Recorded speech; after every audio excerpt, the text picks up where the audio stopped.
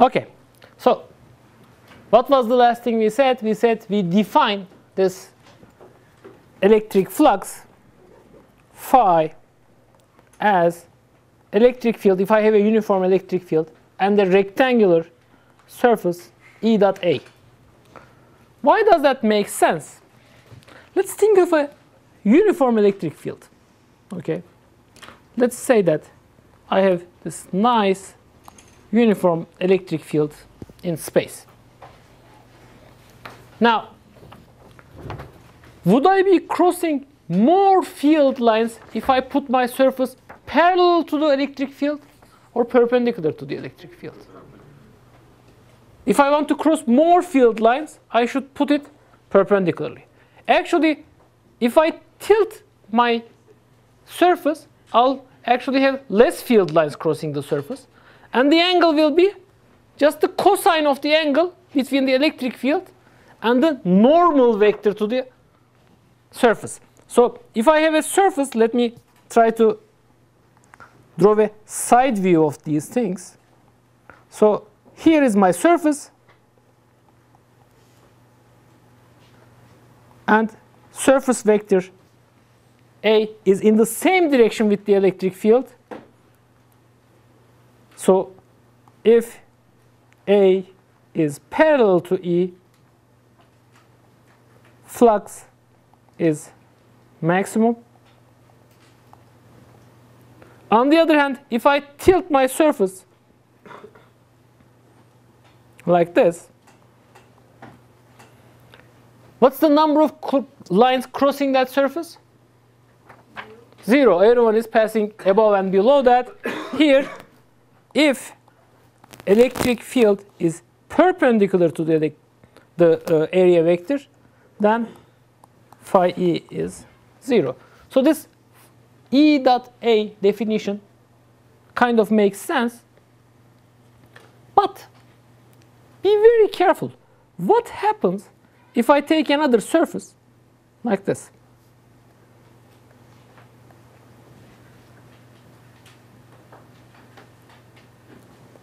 Here, A dot E is actually negative.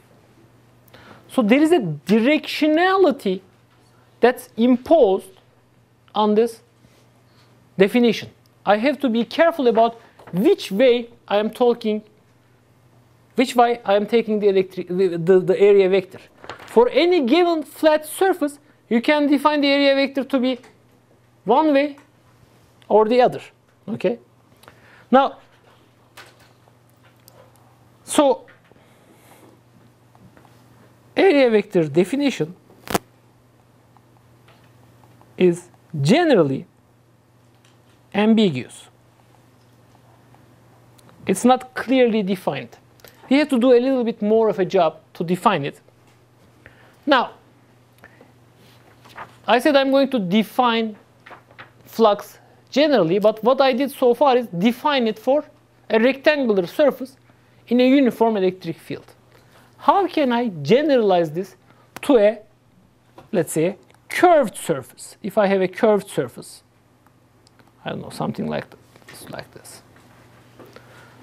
How can I define the flux through that surface? That's why Newton invented calculus, right? If you can do anything for rectangles, for uniform electric fields, you can do it over curved surfaces.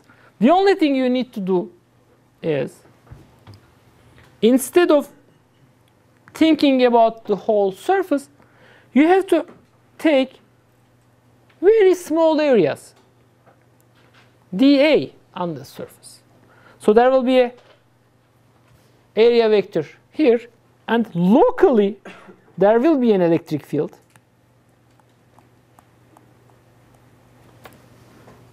What you need to do for the surface, electric flux for the surface, will be E dot dA that will be the small flux through this surface, but now you actually have to integrate it over the whole surface. You have to break up your surface into small rectangles. Now, generally, at this stage, a lot of my freshman students are scared away. They are already scared from the integral symbols. Now that I have vectors inside the integral, thinking that that's going to end up with horribly complicated integrals that you actually have to evaluate. On the contrary, while the definition is conceptually a little bit hard, we'll end up with the simplest possible integrals in the problems we solve. So do not be scared, but try to understand conceptually what we're trying to do. Did you understand the definition of electric flux for a rectangular surface in a uniform field? It's quite easy, E dot A. Now, how can I do it in a varying electric field with a curved surface? The logic is that now that I know how to do integrals, I can break up my surface into small enough regions so that I can regard them as rectangles, okay, as flat surfaces, and then electric field in that region would be almost uniform. So E dot A over this surface will give me the total flux through any curved surface. Okay? And this is also a very strange way of writing the limits of an integral. This is, in principle, a two-dimensional integral. So I have to specify over which surface I'm evaluating the integral. Okay? Now, let's try to get rid of this ambiguity, whether I should get a, the area vector to one side or to the other side. Okay? And it turns out we'll not be concerned about the most general surfaces. We're going to consider only closed surfaces. Does anyone know the definition of a closed surface? Okay, let me give it. A closed surface is a surface which divides the space into an inside and outside region. And you cannot go from inside to the outside without crossing the surface. Okay. So, for example, if I actually take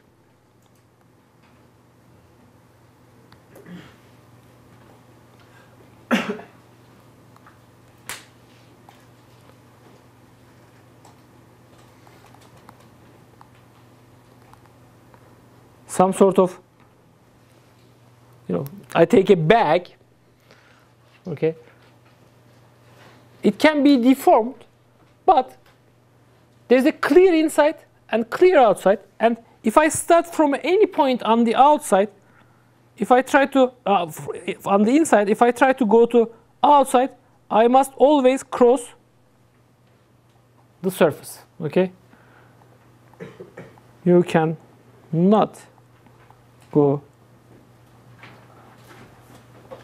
from inside to outside without crossing the surface. For example, if I have the surface of a sphere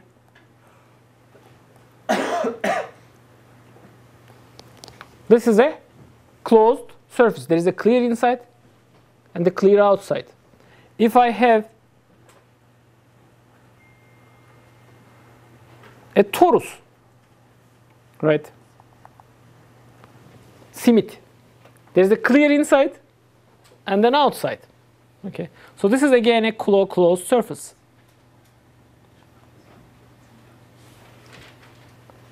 What if I have a surface like this. Something with a small hole. Ah.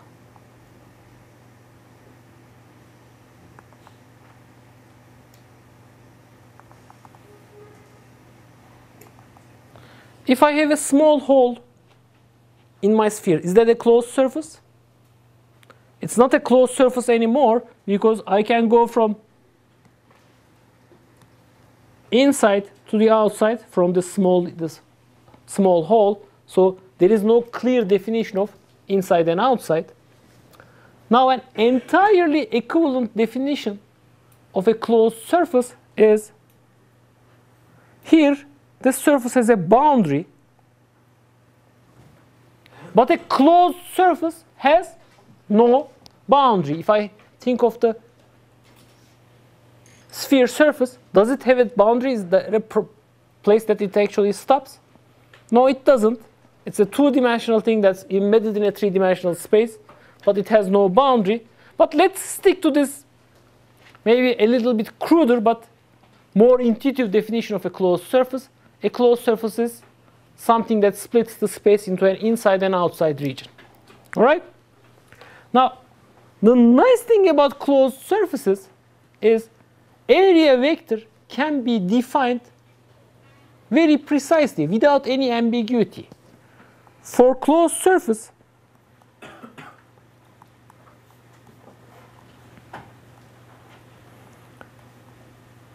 area vector points from inside to outside. So for example, I don't know what happened here. Okay.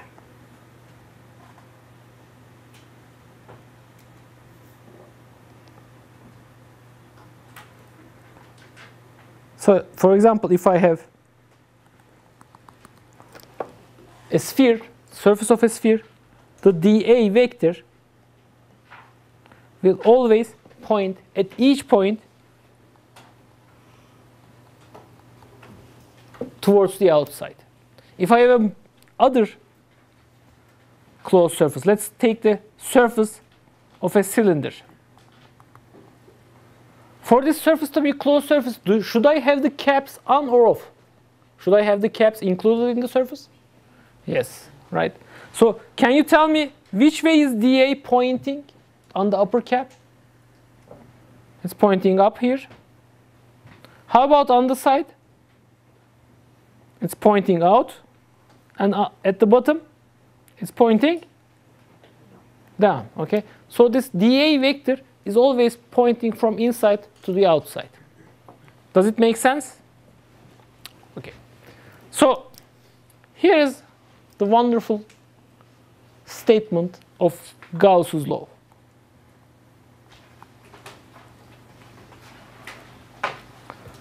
I'm going to claim that if I calculate the flux for, for a closed surface, it's exactly the total charge inside divided by epsilon 0. And to remind myself that I'm doing this for a closed surface, I'll put a small circle onto the integral. Okay, That means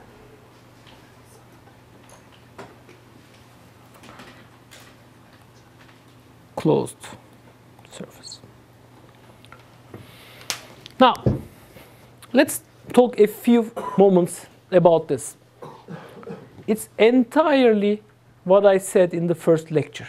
Okay, What is the flux? What's the left-hand side of this equation? The way we define flux, it's the total number of field lines going out of a surface. Right? So if we go back to our too complicated drawing, I'll have to draw it again. okay. So if I have two charges, plus q and minus q here, and if I take a surface, closed surface, all the field lines, all the field lines coming from this plus q, q must go out. They are going out of the surface, so they give me a positive flux. Now, if I actually take another surface, if I take a surface which has no charge inside, there may be field lines crossing the surface, but whatever is coming in must also go out. So the total electric flux will be zero. So what Gauss's law basically tells us is if I can count the number of flux lines going out of a surface, so the net number of flux lines going out of a surface, they must have come from somewhere inside, and the only place where field lines can start are charges. So I can basically measure the charges inside this region. Now, here is something that's somewhat maybe surprising at this stage. It turns out what I write down here is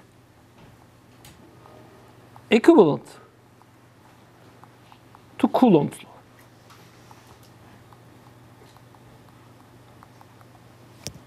Now it looks a little bit surprising, but you can prove Coulomb's law from this, or you can prove this from Coulomb's law. I will not attempt to do the proof, and actually if you want to do justice to that proof, you have to learn a little bit of differential geometry. But I'll do the following. Let's calculate the flux due to a point charge. All right, that's the first thing I'll actually try to do. So let's check Gauss's law. Does it make sense? Calculate the flux due to a point charge Q at the origin. So here's my situation.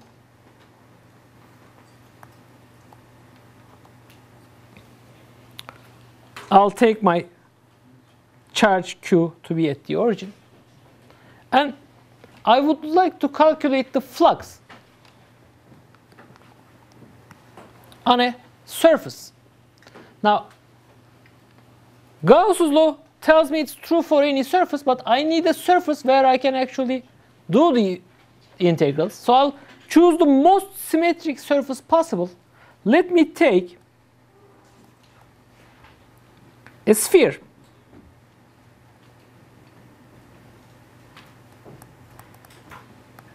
I wish I could draw well.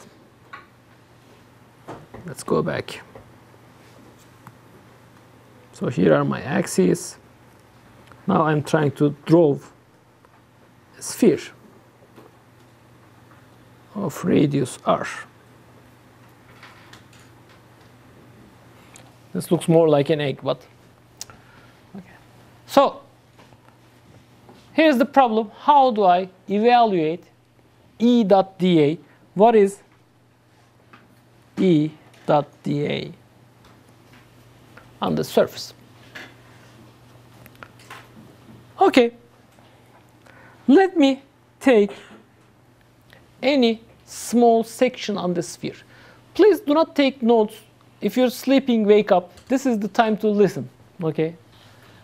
How do I calculate flux on this sphere? If I take a small section dA, which way is the area vector pointing? It's pointing outside. How about the electric field? Which way is the electric field pointing? At any point on the sphere. It's pointing outside, right? Coulomb's law tells us that it's pointing outside. Actually, Coulomb's law even tells me that the magnitude of the electric field will be 1 over 4 pi epsilon 0 q divided by r square.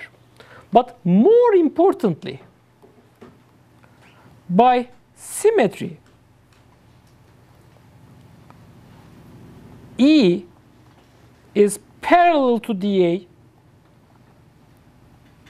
everywhere on the sphere.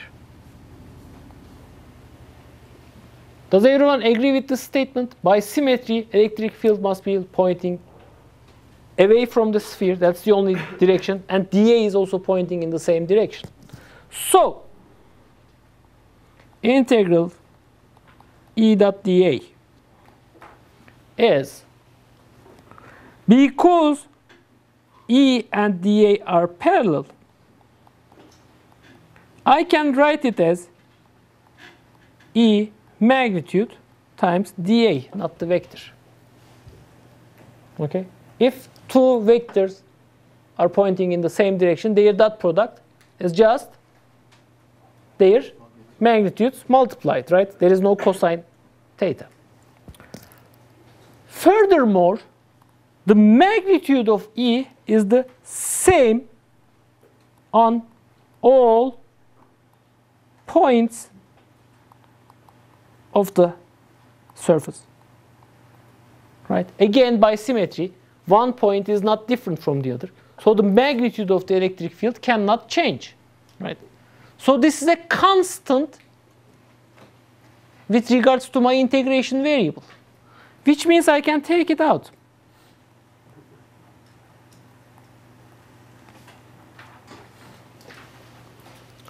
Now let's come back to the meaning of integral dA. What does that mean? What was dA without the vector sign? It's the area of that small rectangle. If I add up the areas of all these small rectangles, what do I find? Total surface area of the surface, right? Whatever surface. So this is going to be the total surface area. Okay. So this is going to be E magnitude times A. And now I can write E magnitude is 1 over 4 pi epsilon 0 Q divided by R square. What's the surface area of a sphere? Come on. 4 pi r squared. 4 pi is cancelled. r squared cancelled. q over epsilon 0. And that's exactly I mean, what, we, what Gauss's law promised us. So we can trust it a little bit more now. Okay. At least it works for point charge. And the usual proof goes along the lines showing that if you bend this surface a little bit, it's not going to change. So, and it works for point charges, it works for all charges, is the next thing you actually have to prove. Okay? So, integral E dot dA is Q over epsilon 0 checks out.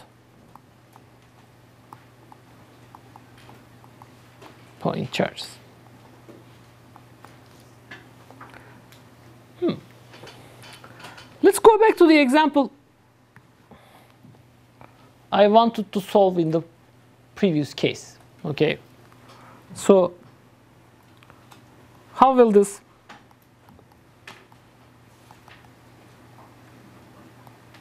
help us?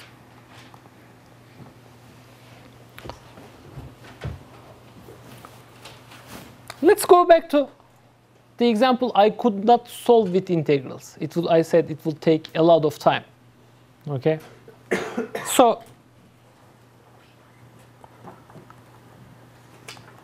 find the electric field of a uniformly filled sphere. So I have a sphere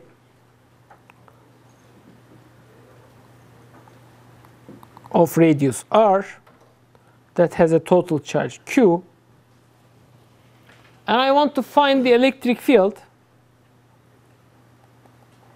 Find E both inside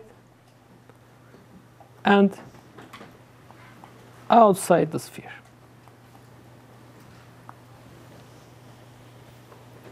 Once again, you can do this by integration.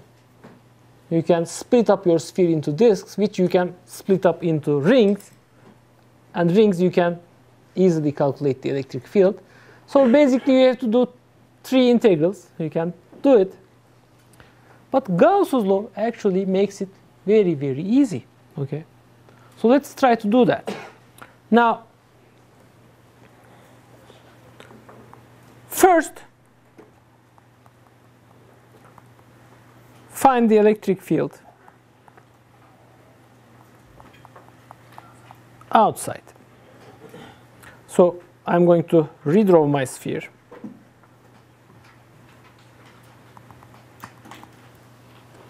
Let's say I want to find the electric field.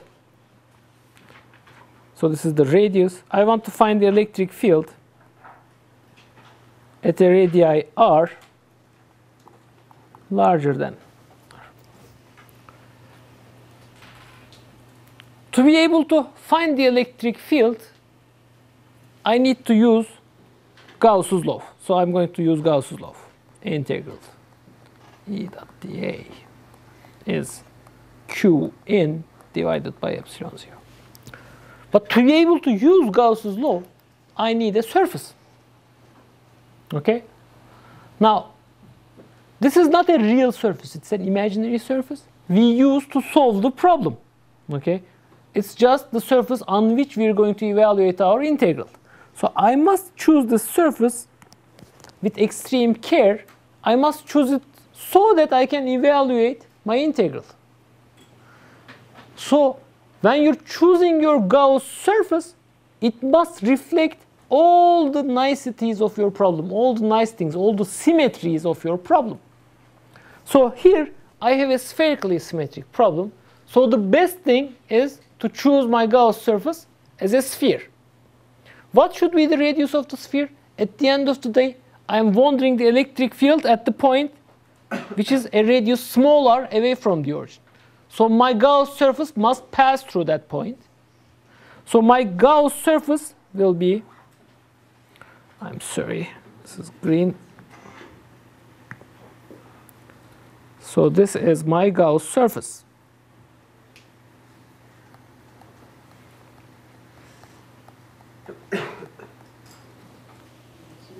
Yes?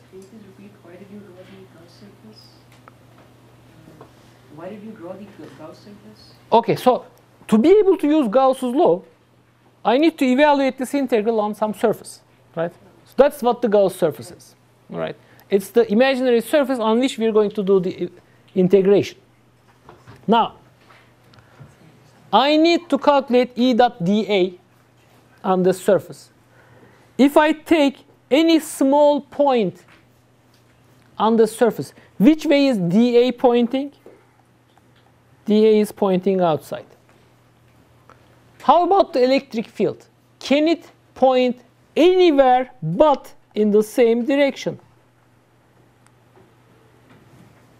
By symmetry, any electric field, this is a spherically symmetric arrangement. You cannot choose another direction. You must point either away from this arrangement or into that arrangement, which is practically the same thing, right? Up to a minus sign. So E and dA must look at must point in the same direction.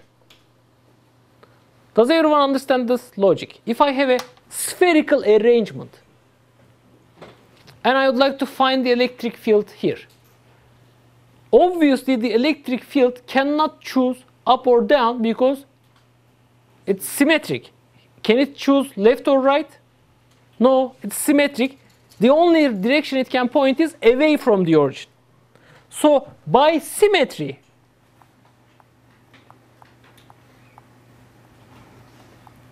E is parallel to dA on the surface. So every time I see E dot dA, I'm going to write E magnitude times dA without the vector sign. Furthermore, all the points on this sphere are equidistant from the charge distribution, right? I'm going to claim again by symmetry E magnitude is constant on the surface.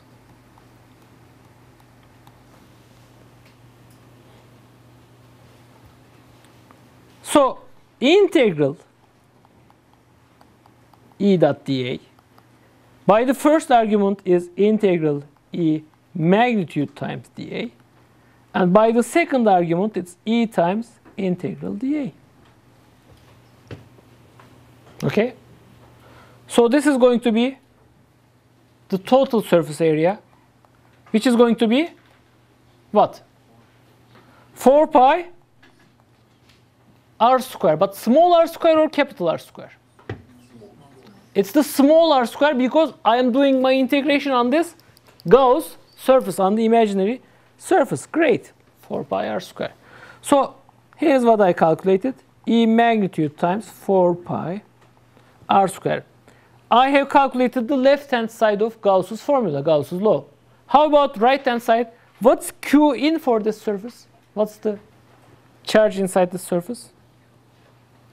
All the charges inside my surface, right? So this should be Q, all the charges here. Okay. So integral E dot dA is q in divided by epsilon 0. E dot dA we've just found is 4 pi r square times E magnitude. Q in is q divided by epsilon 0. So E of r magnitude is q over 4 pi epsilon 0 r square for r greater than the radius of the circle. So, I mean, this is somewhat maybe disappointing, right? I found the formula for a point charge, but maybe it's not too surprising. Do you remember your gravity? In gravity, if I had a spherical planet, its gravitational field was as if all the mass was concentrated at the center. Okay? So it works also for charge distributions. If I have a spherical distribution, if you're away from that spherical distribution, it behaves as if everything is at the center, all the charges at the center. Okay? So it is nice. But I'm not done yet. I actually want to calculate the electric field inside. Okay? So how about r less than r? So let me redraw my figure. So here is my charge distribution.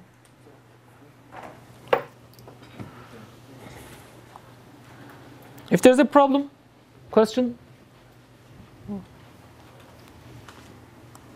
So I would like to find out the electric field here. It's smaller. So I need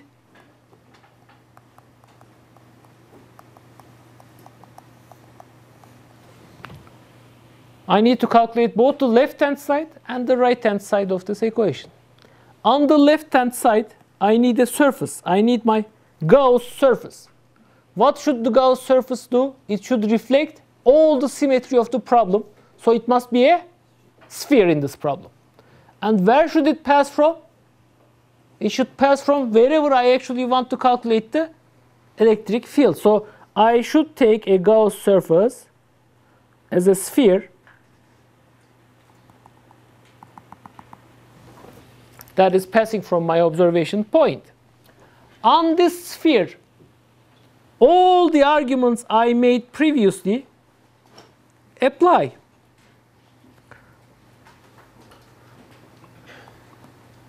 On the Gauss surface,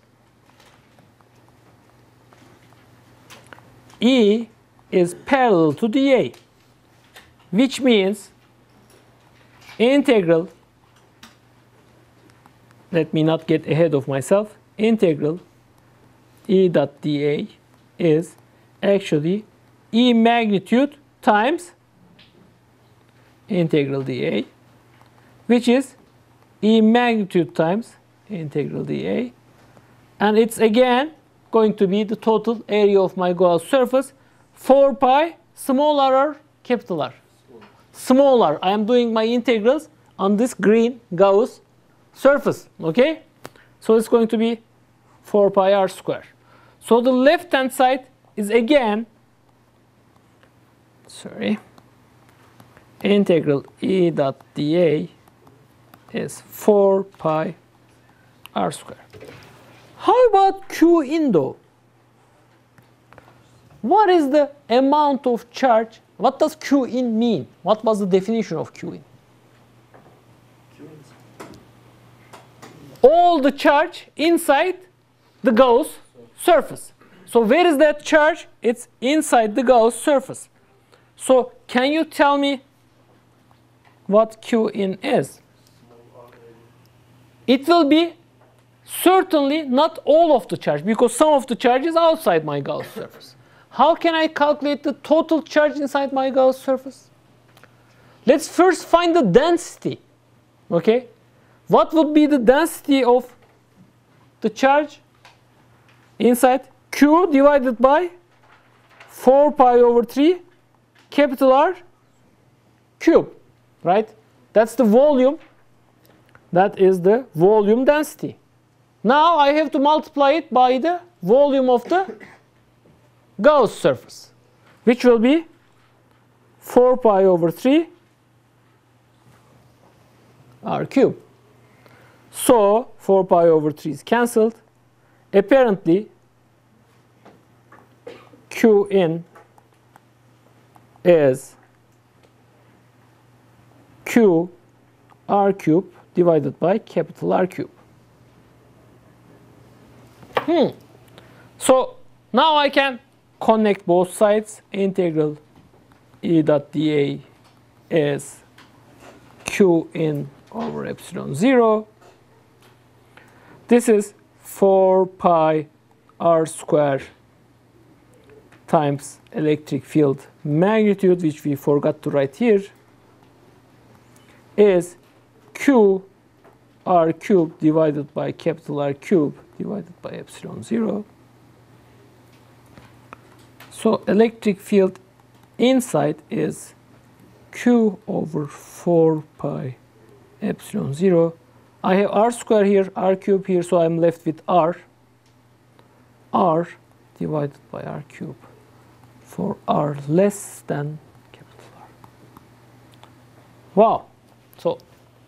This is a little bit different from maybe what you would naively expect. So let me plot the electric field magnitude as a function of radius.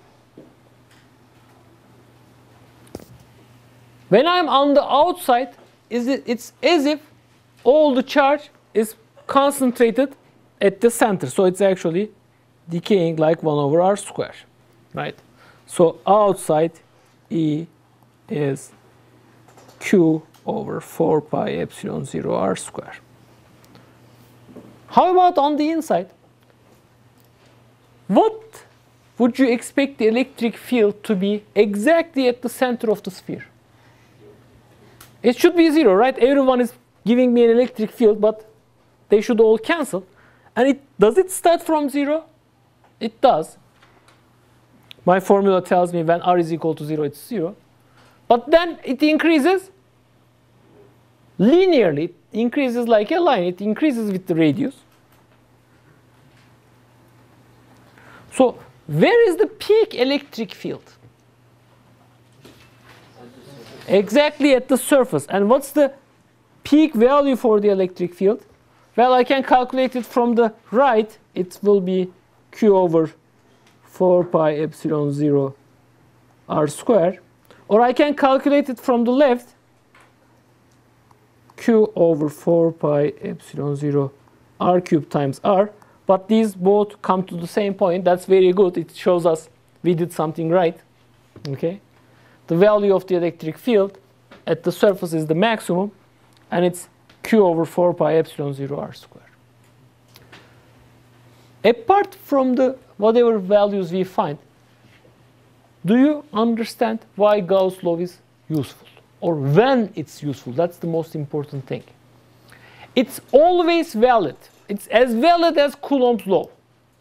But it will only help us do calculations if my system is symmetric enough, like the sphere.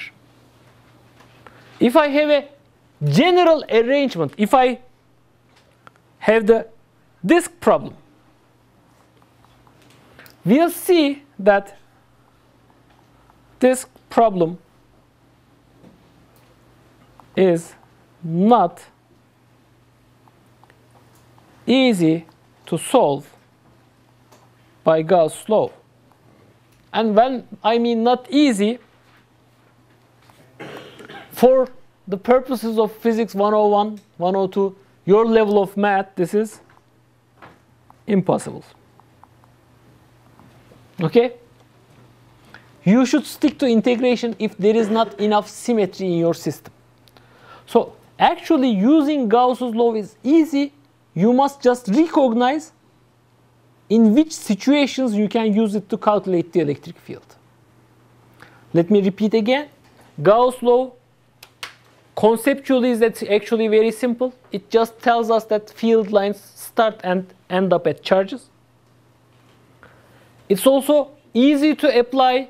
Instead of evaluating integrals, we're basically doing the simplest integrals, which are conceptually a little bit complicated.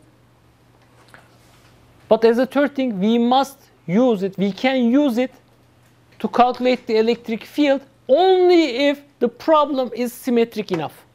And by solving enough examples, we'll understand where we can actually uh, apply Gauss law. All right? Any questions? I'm worried. I've told you something that's very complicated and no one is daring to ask a question. That's worrying. Uh, so in two days, we'll actually meet again and we'll talk a little bit more about Gauss law.